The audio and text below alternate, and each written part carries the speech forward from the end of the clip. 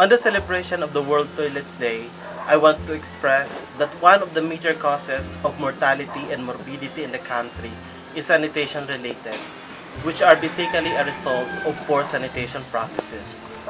We work for sanitation because we believe that women and girls deserve a humane living condition that will promote their, health and dignity. Me gusta trabajar en saneamiento porque es una forma de propiciar conductas las cuales van a favorecer su estado de salud. De esta manera vamos a reducir los riesgos y así van a tener una mejor calidad de vida. Yo pienso que es lo más fundamental ya que con una buena técnica de lavado de manos, con, este, con el uso de los filtros, eso disminuye las enfermedades diarreicas, enfermedades parasitarias en los niños y en los adultos también.